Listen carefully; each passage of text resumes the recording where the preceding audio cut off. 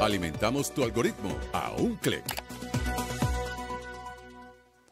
Bueno, y como todos los jueves en nuestra sección a un clic, eh, ponemos la lupa, digamos, para investigar todos estos fenómenos que suceden en redes sociales, creadores de contenidos, entender cómo han sido sus procesos para llegar a crear comunidades tan importantes como la que tienen. Y hoy se lo vamos a dedicar, esta sección, a eh, los BookTok, que son realmente un fenómeno y realmente hay muchos BookTokers en español que están acercando la lectura y la pasión por la literatura a una generación mucho más joven que a través de TikTok están conociendo de autores y de libros muy famosos y eh, así inician un hábito de lectura que es una maravilla lo que sucede a raíz de estos videos. La verdad es que yo no puedo estar más feliz de recibir a, estas dos chicas. Estuve revisando además su contenido a través de, TikTok y la manera en que hablan de, de, los libros, o sea, eh, mueven. Primero que están promoviendo la lectura, que yo siento que es un hábito que se ha perdido mucho. Eh, el, comprar un libro, el, leer un libro, el tener un libro en físico, porque además hacen todos estos reviews con los libros en mano, enseñando el libro, enseñando la portada. De verdad es que me emocionó muchísimo pues ver que hay gente motivada con la lectura, que hay gente motivada a promover este tipo de, de hábito que es tan importante, que es vital para cualquier generación. Y estas dos chicas, Mila Caterinix, ya después me corregirás, pues si no se dice así el, el, apellido, creadora de contenido, booktalker, autora de Viles Mariposas, y Irit Hurtado, creadora de contenido y booktalker. ¿Cómo están chicas? Bienvenidas. Hola, ¿qué tal? Buenos días, muy bien, gracias por la invitación. Feliz de recibirte y también a Exacto, Irit nos acompaña desde México y Mila nos acompaña desde Argentina, ¿no? Es de Argentina, total, acá, re feliz de estar y me encanta el espacio este que se abre para conocer también de este mundo, como decías, como que a veces uno piensa que se perdió la costumbre de leer y ahora con las redes, viste, te enterás de otra cosa. Bueno, eso fue lo que para mí fue una grata sorpresa, revisar sus cuentas y, ver lo que estaban haciendo, la promoción de la lectura y ver la manera en que lo hacen, la cantidad primero de seguidores y de views que tienen a través de TikTok es impresionante, pero cómo empieza cada una con, con, esto? Ya tenían, pues, me imagino el hábito de la lectura, pero ¿cómo deciden empezar a promover la lectura y estos libros a través de, de TikTok? Quien quiera empezar, bienvenida. Si quieres, empieza tú, Mila. ok. Eh, yo en realidad eh, toda mi vida me encantó leer y escribir y yo empecé más como desde el lado de la escritora, no tanto desde la chica que hacía reseñas, pero después como que solo se fue dando porque era como que me di cuenta que no solo había un mundo para los autores, sino que también para los lectores y que era enorme ese mundo. Y más que creo que Iri comparte que cuando, o sea, vos querés compartir eh, cuando estás leyendo y te entusiasma lo que estás leyendo, querés saber qué piensa alguien más y no sentirte tan solo que quizás a mí me pasaba eso, en un ambiente bastante solitario el de la lectura y cuando me emocionaba, quizás no tengo amigas que comparten tanto los libros que yo leo. Y dije, bueno, no sé, me voy a animar, voy a perder el miedo total, ya está, ¿qué puedo perder? El no ya lo tengo. Y me tiré, hice el primer video y a veces me río porque está todo documentado y me veo a mí misma y me da gracia cómo hablaba. Era que era toda chiquita y hablaba, viste, como con timidez. Eh, y me gusta ver eso porque, bueno, fue como todo un avance desde ese entonces hasta donde estoy ahora. Claro. ¿Y en tu caso, Irit? Sí, mira, en realidad yo empecé creando contenido de belleza como skincare pero un día, este, después de muchísimos años sin leer, como me convertí en mamá y dejé por un lado la lectura, eh, vi Crepúsculo. Estaba lloviendo y yo dije, hora de ver Crepúsculo. y Qué rico. De ahí me reactivó como que eh, las ganas de querer leer más y compartí un TikTok en el que muchas personas se identificaron porque yo creo que Crepúsculo marcó a toda una generación y, y también hizo que muchas nos volviéramos lectoras, ¿no? Y a partir de ahí empezó como que la comunidad a crearse y un ambiente muy bonito y me encantó el poder compartir esto que disfruto tanto y es padrísimo, la verdad. Es que eso que decía Mila, lo rescato de, bueno, a, veces la lectura puede ser un acto como muy solitario, porque a menos de que tengas, te pongas de acuerdo con un club de lectura que existen de toda la vida y todos estemos leyendo el mismo libro y podamos comentarlo y tengamos encuentros, pues de lo contrario estás en tu casa leyendo y vas avanzando y pasan las cosas más emocionantes del libro y necesitas que alguien eh, lo lea para poderlo compartir.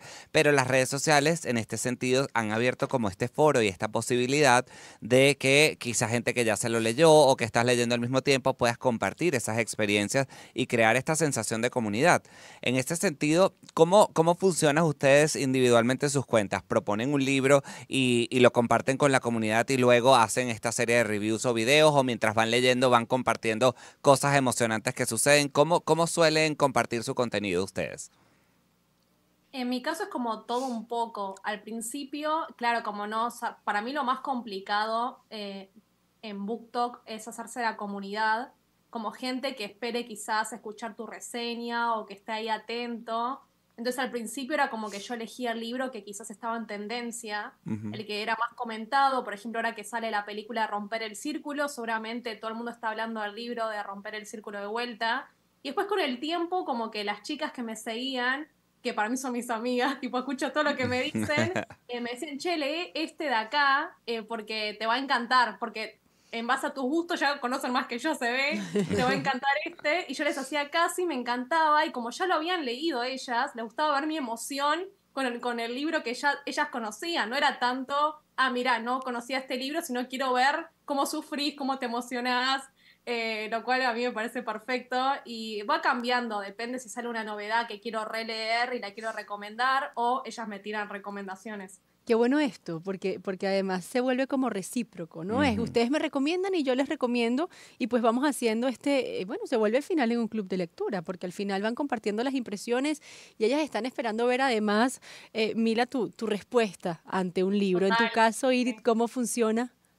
Yo tengo una mecánica parecida a la de Mila. Yo siempre trato de leer, voy intercalando entre alguno que esté en tendencia, uno que hace mucho que quiero leer o uno que yo veo que tiene como material para platicarlo, que igual que si está alguna polémica o algo en tendencia, eso intento y también tengo un club de lectura en el que con mis compañeras voy eligiendo qué libro. Entonces, como dices, es recíproco porque te lo recomiendan, lo lees y como dice Mila, eh, tu comunidad quiere ver tus reacciones. Entonces es siempre se trata de eso, ¿no? De ir variado y también no encasillar como que en un cierto tipo de lectura. Mm, claro. Ahora bien. como un solo género. Sí. Eh, Ajá, exacto. Yo tengo una curiosidad y esto es de lo más personal porque a mí me sucede lo mismo. Yo trabajo en el mundo del cine y entonces, bueno, a veces veo las películas con un tiempo de anticipación y necesito conversarlas con la gente, pero también para mí se ha convertido... Lo que pasa es que, lo que, pasa es que ya va, ya va, ya va. Yo aquí tengo que hablar. Él tiene ciertos privilegios porque, porque pertenece, a, digamos, a ciertos círculos cinematográficos. Entonces, por ejemplo, eh, él tuvo acceso, vamos a decir, no sé si a Bridgerton, pero por ejemplo, tuvo acceso primero que el mundo entero a las temporadas de Bridgerton. Eh, por ponerles una, yo también me muero. O sea, me da una envidia horrible. Y entonces, entonces, bueno, vamos a estar claros que él tiene ciertos privilegios en, cuanto, en cuanto a esas cosas. Yo no, quería sonar nada arrogante, pero. Pero sí. Pero, pero, no. Sí. Mi pregunta iba sobre el tema de que se convierte también como una especie de trabajo, disciplina, el poder crear este contenido y que muchas veces es libro tras libro que hay muchos que quieres estar leyendo al mismo tiempo y, sientes que no te da la vida ni te alcanza el tiempo y la para gente poder está esperando además, como, bueno, ¿por qué no has hablado de este? Bueno, eh, eh, ¿por qué no has publicado nada de ningún libro? ¿Qué pasa? ¿Estás leyendo? ¿No estás leyendo? Claro, ¿cómo se vuelve también esa, esa expectativa de la gente ante ustedes que tienen que estar todo el tiempo, primero, el primer trabajo que es leer un libro. Y segundo, pues, hacer la crítica y hacer el video, editar el video y subir el video para que la gente vea los comentarios. ¿Cómo, ¿Cómo viven eso? La lista nunca termina de libros por leer, ¿verdad? No, nunca. En mi caso, este, como mencionas, a veces sí se vuelve claro un poco tedioso, ¿no? O sea, hay veces que no quiero leer como cualquiera le puede pasar. Y eres mamá. bloqueos lectores, porque también hay libros que son como muy este, absorbentes o que, o que transmiten muchos sentimientos y emociones. Entonces, hay veces que dices, ay, me voy a dar un break, voy a descansar un ratito, pero si no lees, como que no tienes para hacer contenido, entonces ahí es tratar de, ir poco a poco y como te digo, yo tengo lo de que leo un libro de romance y luego intento leer otro, otro género para no irme tampoco como saturando, ¿no? Y en tu caso, en tu caso, Mila, sí. Es interminable la lista. Yo recuerdo cuando apenas empezaba, que no lo, o sea, uno cuando empieza no ve como en qué se va a convertir. Yo jamás hubiese pensado que por ejemplo, las editoriales iban a confiar para mandarme sus ah, libros. Esto se va acumulando la lista porque eh, es todo un trabajo, vos tenés que cumplir, también tenés que dar la reseña, tenés que cumplir con tus seguidores, que ellos te están siguiendo por un motivo. Entonces como que hay muchos factores que van combinando para que uno como que a veces como que para mí es mucho, y yo no quiero leer nada más, pero después me relajo. Y voy como, quizás voy variando, quizás si tengo un libro más, eh, no sé si tedioso, pero más pesado en cuanto a páginas o así, después me tiro uno más de poemas, que es más ligero, y voy como variando para que no se vuelva una obligación, porque a fin de cuentas, esto más allá que es un trabajo, también eh, yo disfruto muchísimo de hacerlo y quiero que se transmita eso en los videos, no que estoy obligada a leer un libro, que no es el caso. Ah, o sea que también Mila tiene ciertos privilegios. no, de eso, de eso vamos a hablar, también visto desde la perspectiva de, trabajo, ¿no? Y de cómo las editoriales pues también eh, hacen a través de, del TikTok que la gente tenga acceso a, estos libros, que la gente vaya a comprar los libros. Por supuesto, de eso vamos a hablar y no pueden faltar las recomendaciones por parte de Mila y de Irit a través de este programa. Vamos a hacer una pausa y volvemos con ellas. Sonidos que te envolverán en un mundo de emociones. Voces que te mantienen con la mejor onda en un solo día. Onda, la superestación. 107.9 en Caracas. 104.5 en Barquisimeto. 91.5 en Puerto La Cruz. 107.3 en Maracaibo. 103.5 en Ciudad Bolívar. La Guaira. 105.5. 90.3 en Acarigua. Onda, la superestación. 88.1 en Puerto Ordaz, 96.3 en Maturín, 103.9 en Guarenas, 105.3 en Mérida, 105.1 en Margarita. Déjate sorprender con sonidos y voces con el mejor estilo. Onda, la superestación. Así somos, así somos.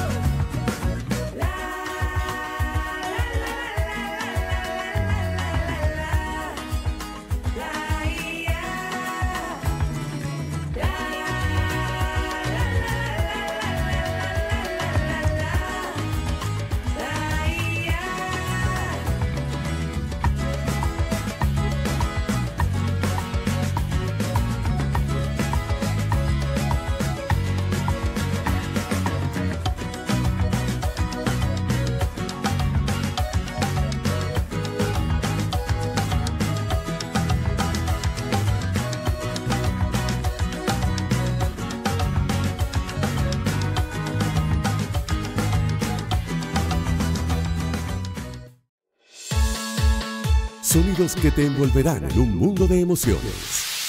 Voces que te mantienen con la mejor onda en un solo día. Onda, la superestación.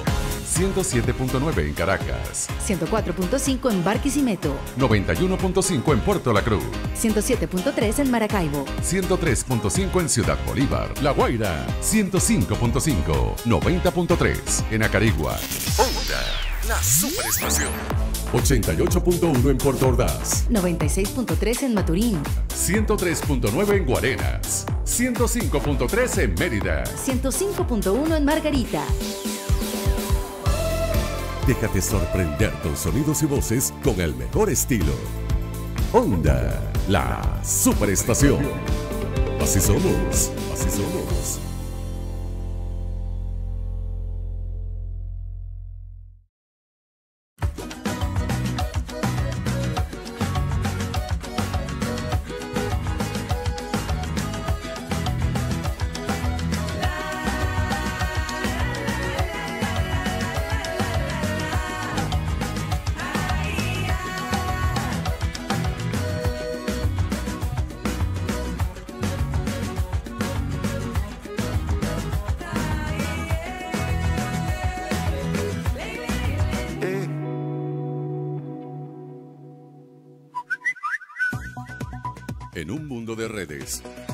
Eres lo que compartes y sigues. Alimentamos tu algoritmo a un clic. Y ellas sí que alimentan los algoritmos y mueven además libros a través del TikTok. Son booktokers, ambas, Mila y, y- y también Irit. Estamos hablando con ellas porque pues aprovechan la plataforma de TikTok para hacer reviews de los libros que están leyendo, para que además el público también pues les recomiende qué libros leer. Y acerca de eso queríamos hablar, ¿no? Mencionaron las, las editoriales y me pareció un punto importante mencionarlo para saber de qué manera funciona. A, a ver, me imagino yo, y ustedes lo van a aclarar aquí, que hay dos vías. La primera es, pues te voy a mandar el libro y si quieres, si te gusta, haces el, review a través de, del TikTok. La segunda, imagino yo, es, aquí tienes el libro, te pago cierta cantidad de dinero para que promociones este libro. ¿De qué manera funciona este trabajo con, con las editoriales y de qué manera pues también lo hacen ustedes? Iris, ¿querés decirlo? Digo yo. Eh, bueno, realmente aquí en, en mi caso al menos es funciona con las editoriales, te envían los libros eh, para que tú hagas tu reseña, o sea, no, no estás como quien dice obligada, pero obviamente te lo mandan con el propósito de que tú se lo muestres a tus seguidores, que lo estás leyendo. En mi caso, yo no acepto eh, que me digan, te mando mi libro y te pago tanto para que me hagas una reseña porque eh, siento que me estaría comprometiendo de alguna manera a qué tal si no me gusta. No me gustaría como comprometer y, y decir, no, pues este libro me gustó cuando en realidad no fue así, ¿no? Por mi audiencia. Entonces yo prefiero que cuando se me acerca un autor o me quieren enviar un libro y me piden una reseña, es de que si gustas envíame el libro, lo leo y si me gusta, si lo disfruto, comparto la reseña, porque también, eh, pues yo entiendo que publicar un libro es, no es cualquier cosa, escribirlo, entonces, pues respetar el trabajo de todos los autores, ¿no? Y el hecho de que a mí no me guste no quiere decir que, que no sea bueno o que no le va a gustar a mi comunidad. Claro. Mila, Eh, bueno, están las dos, las dos vías, que es que la editorial te lo manda y por lo general eh, la editorial cuando te manda el libro hay todo un formulario eh, donde vos vas eligiendo, en mi caso, como que es más de qué es lo que más te gusta a vos, si es más romance, la novedad del mes, y yo como que ahí escojo la que va más con mi público porque sé que va a pegar más, eh, porque si no me siento como obligada, si me mandan como quizás algo, si bien leo de thriller, no es lo que yo más tiendo a leer, entonces como que prefiero de esas opciones siempre marcar la que creo que va mejor. Eh, y en cuanto a cuando me mandan eh, del otro lado, o sea, por autores quizás independientes, eh, como que fue variando porque uno va para mí encontrando su terreno donde más se siente cómodo. Eh, yo, por ejemplo, nunca en mi cuenta eh, hablaría mal de un libro, sino que siempre digo, este libro es para tal público, no fue Claro. para mí. Claro. Eh, pero jamás diría que el libro es malo ni nada, porque de verdad, yo siendo escritora, aparte lo entiendo, que no todos los libros son para ni para todo el mundo y quizás no lo leíste en el momento adecuado para que te guste. Entonces, como que yo siempre trato de decir las características objetivas del libro para que vaya con la persona que quizás sí le termine gustando. Eh, las reseñas a veces como que al principio, como todavía no entendía mucho de qué iba y como yo antes era escritora y acudía a las booktokers, eran pagas. Y después con el tiempo yo como que fui cambiando opinión y hoy no. Eh, pero es como que va variando y para Claro. mí es con lo que uno se siente cómodo y no obligado, porque nadie está obligado a decir me gustó tal libro. Claro. Eh, al menos en mi caso. Además, de cierta manera, pues a- al ser pago, ojo, nadie critica, pues porque, No. porque si te pagan por algo que además te gusta hacer, buenísimo, bienvenido sea. Lo que pasa es que, claro, también hay un tema de, de credibilidad y es lo que ustedes están diciendo. Hay un público que está esperando respuesta, hay un público que está esperando recomendaciones y de repente, si esa, si esa recomendación... eh, Oye, no es real a lo Claro. que piensas, a tu criterio, y se leen el libro y dicen, bueno, pero ¿qué te pasó?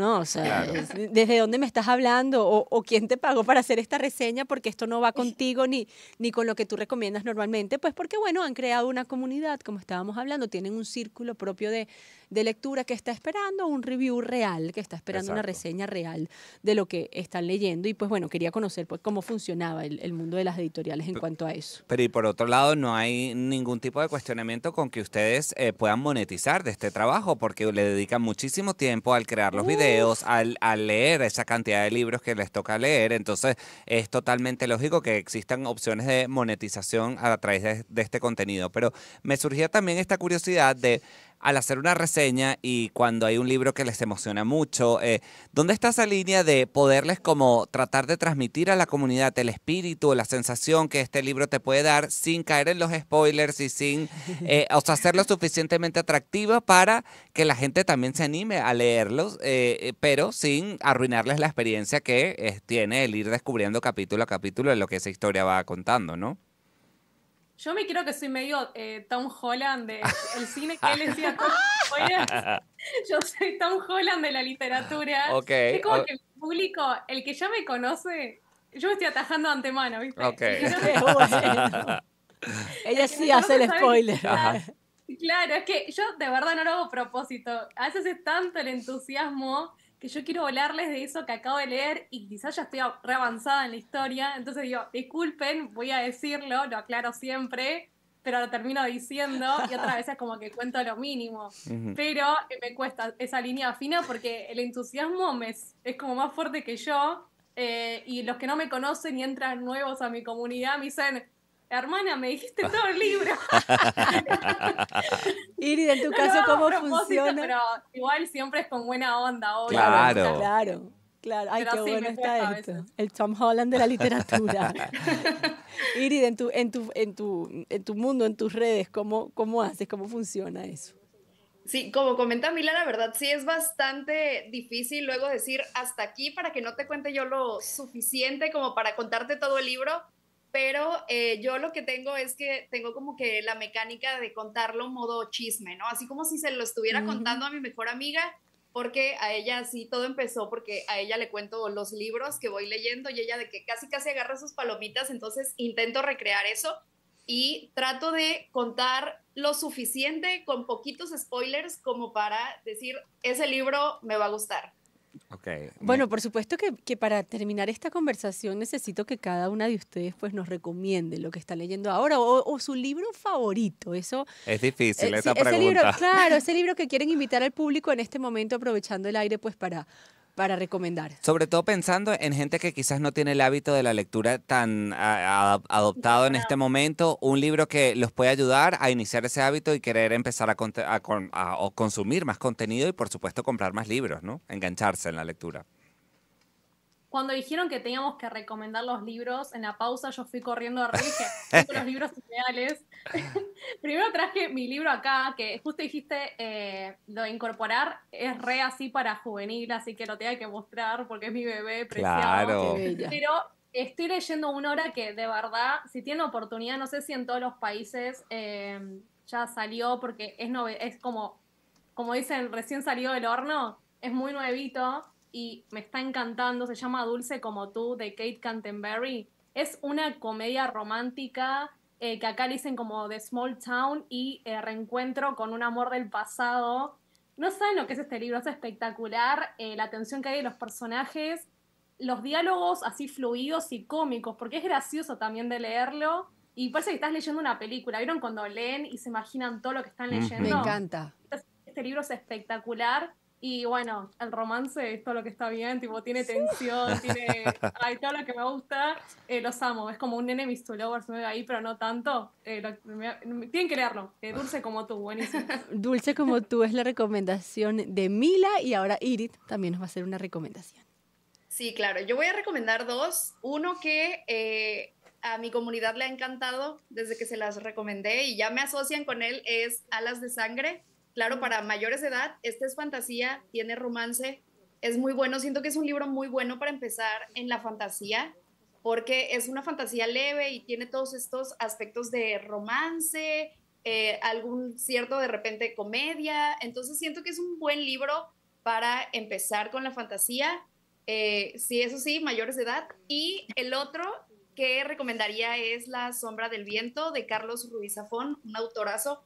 De verdad que ese libro siempre lo tengo aquí. O sea, es un libro que te marca, es ficción histórica, pero con suspenso.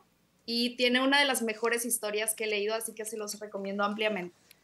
Bueno, me encanta porque nos vamos con tareas y recomendaciones. Yo quiero dejarles a todos las cuentas de TikTok de ambas. Eh, Mila la pueden encontrar en arroba escritos Mila Kate. Kate es K-A-T-E. Y a Irit la pueden encontrar como arroba Irit Hurtado. Así que a las dos ya saben que por ahí van a tener, si están buscando libros, pues aquí tienen dos eh, grandes booktokers que están ahí recomendando siempre, haciendo este trabajo tan increíble. Muchísimas gracias a las dos por contarnos sus experiencias y, y bueno, todo lo que hay detrás de ser un booktoker.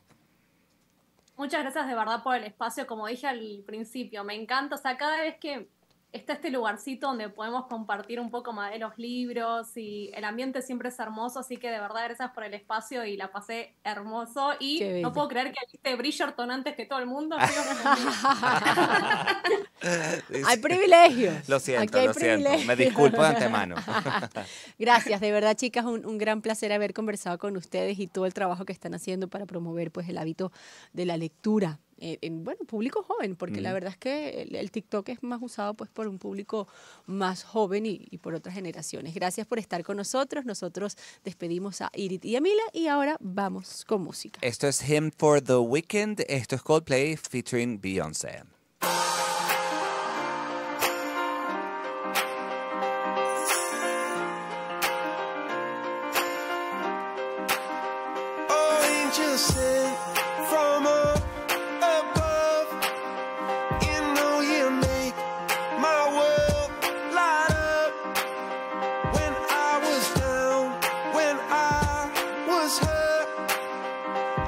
Too late.